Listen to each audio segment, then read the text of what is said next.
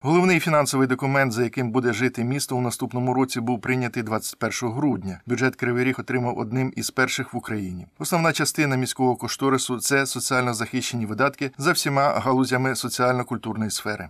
Спостерігається збільшення видатків. Е, По освіті це у нас мільярд сімсот складає видатки бюджету або 33%.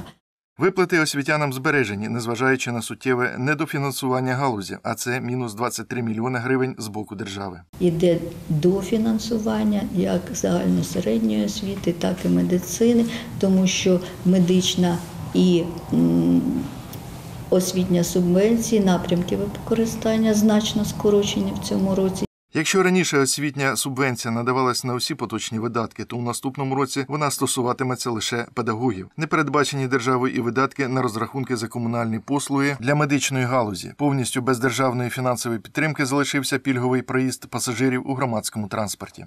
На всі ці цілі ми опять-таки виділили додатково на освіту медицину 526 мільйонів гривень, на пільговий проїзд 236 мільйонів гривень. Тобто це за рахунок міського бюджету всі ці питання врегульовані.